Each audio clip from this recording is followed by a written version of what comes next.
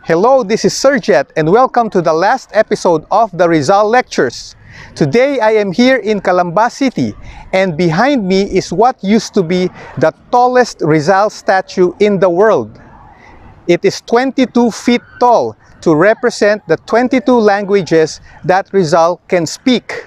And it stands on a podium of 15 steps to represent the 15 decades between the time he was born to the time that this statue was unveiled.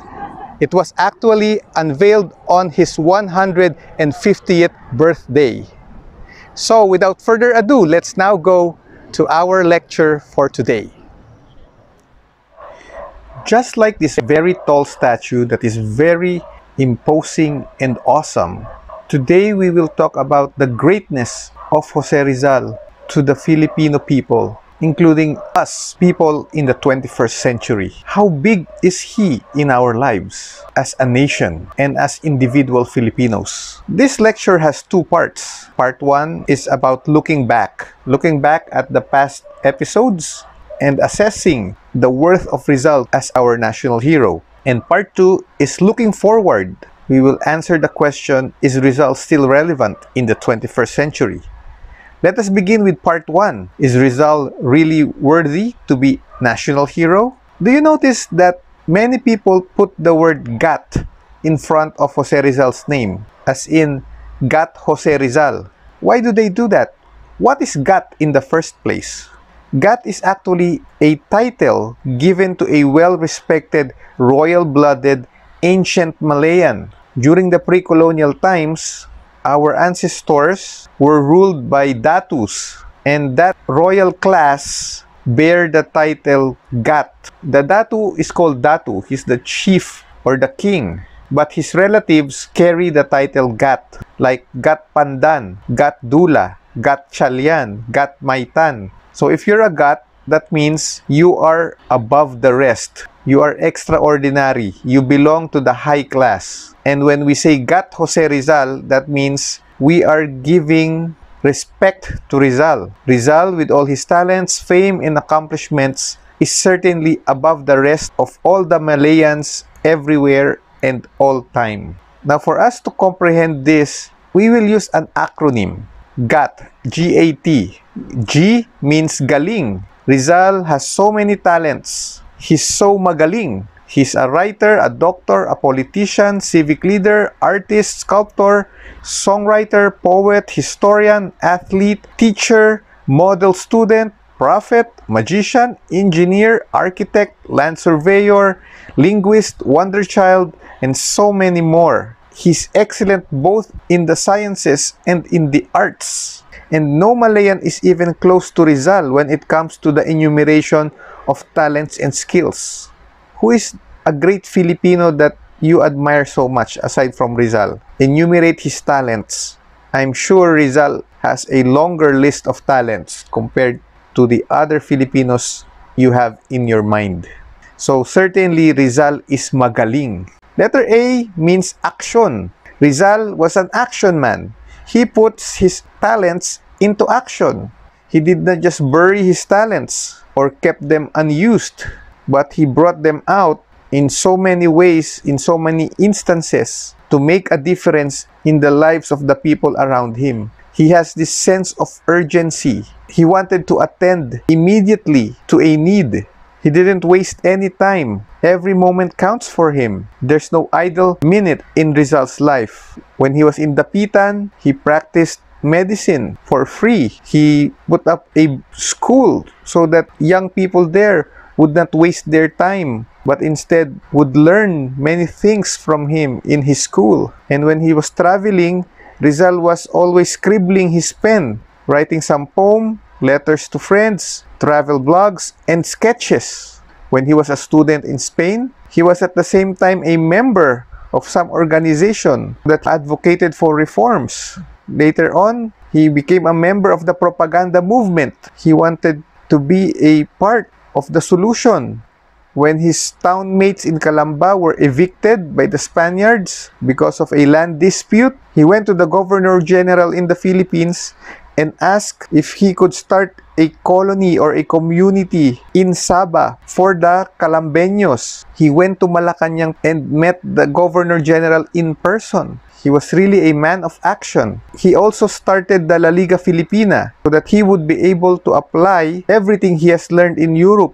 So as you can see, Rizal is maaksyon. A means action. T means tapang. Rizal may not have fought in the battlefield, but whatever Rizal did, he did it with all his heart and boldness. He didn't care if he will make enemies because of his writings and speeches. Remember the story of the Gamu Gamu? His mother told him that story when he was a little boy. There was a brave Gamu Gamu who flew very near the fire of the candle and because he was so near, he got burned and he died. Same thing happened to Rizal. He was so brave, he was so matapang, he ran into the brick wall of the Spaniards, got in trouble with them, and he was executed in Luneta because of his boldness. So we can see that Rizal is really matapang. T means tapang. So what is gat? Galing, aksyon, tapang. And you know, no other Filipino hero in our history has that rare combination of gat, galing, action, tapang. Other heroes may have action or tapang only but no galing or they can be magaling but not matapang or they can be magaling but is not an action man. But Rizal is a combination of the three. Galing, action, tapang. Rizal may have his own weaknesses. We have seen that in the past episodes. But his outstanding gat outweighs all his flaws. So looking back, we can really see that Rizal deserves to be our national hero because among all the heroes, he is complete. He has gat, G-A-T. That's why we call him Gat Jose Rizal. Now let's move over to part 2 of our lecture. Let's look forward. Let's look at our time, the 21st century. Is Rizal still relevant today? Do we still need heroes in our culture, in our time. You know, a hero is a universality in culture. When you say universality, it means something that is present in all cultures and in all periods of history. An example of a universality in culture is music. All cultures have music. Chinese music, Korean music, American music, African music. Every culture in the world has music. Also in all historical times. There's ancient music, there's modern music, there's classical music. Another example of universality in culture is language. All cultures have at least one language. And Another universality that we will discuss today is heroes. Every culture, every civilization has a hero, whether they be real people or imagined heroes, as in characters in folklore. The ancient Babylonians have Gilgamesh, the Hebrews have Moses and the prophets, the Muslims have Muhammad, the old Chinese have Confucius, the ancient Greeks and Romans have their gods and goddesses, and other legendary characters like Zeus and Cupid. The medieval Englishmen have King Arthur, who is a legendary character. The French have Charlemagne. The Americans have George Washington, their liberator. And the Latinos have Simon Bolivar, who led the war against Spain so that they would be free. And even communist cultures have heroes. Russia has Vladimir Lenin, China has Mao Zedong, Cuba has Fidel Castro, Vietnam has Ho Chi Minh, and North Korea has Kim Il-sung and Kim Jong-un. And what is the function of all these heroes that I've mentioned? The hero is the glue that keeps the nation or that culture together.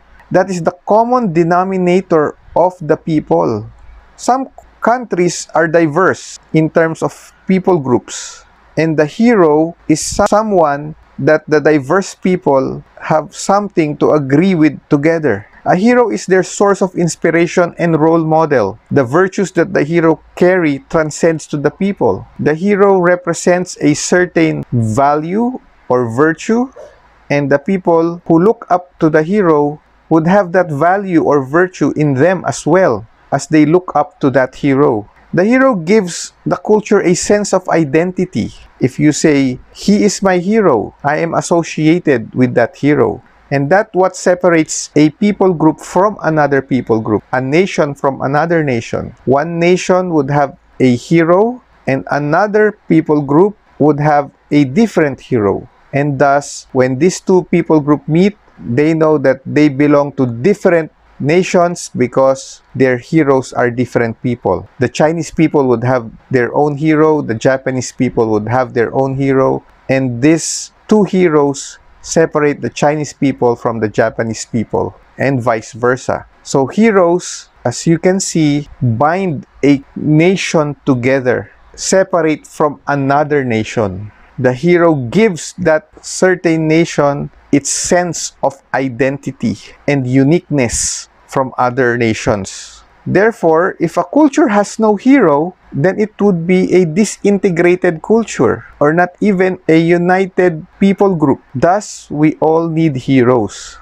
So if we take away Rizal from Philippine culture, we will be disunited. We will lose our national identity.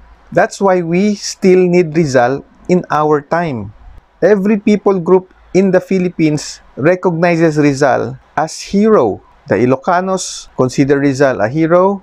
He has Ilocano blood, by the way. The Tagalogs, of course, because he's from this place. The Visayans, Rizal can speak their language. The people in Mindanao, he lived in Dapitan once upon a time in his life and became very dear to him. So Luzon, Visayas, Mindanao look up to Rizal as hero. He binds us together as one nation. Another reason why Rizal is still relevant in our time is that he is multifaceted.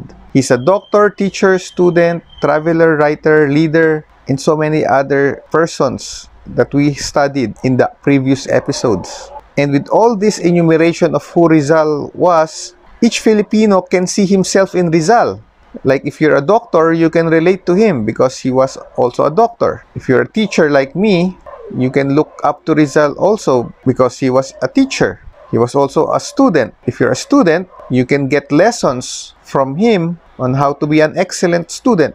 If you're an OFW, Rizal was also like you. Most of his life, he was a traveler. He was abroad. If you're a journalist, Rizal is also like you. If you're a leader, a public servant, or a scientist, name it, every Filipino can relate to Rizal. Each Filipino can see himself in Rizal. Thus, each Filipino can pick life lessons from Rizal that is similar to his profession or situation. So therefore, Rizal can still be very relevant to us Filipinos in the 21st century. Just study his life. What are the problems he faced? How did he solve them?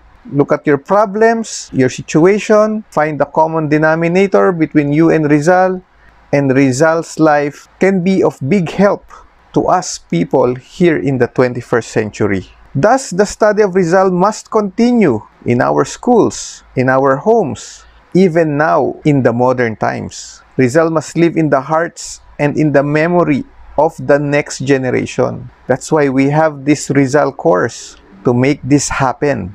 Then we will be better Filipinos individually and be a better united Filipino nation. Looking back and as a conclusion to this lecture and this series, we have seen that Rizal is indeed a great, great man. His legacy lives on even up to today in the 21st century, and he is very much relevant to each and every Filipino. I hope this series has transformed you into a better Filipino. You have learned many things and you have many lessons to apply in real life. Thank you very much. This is Sir Jet signing off.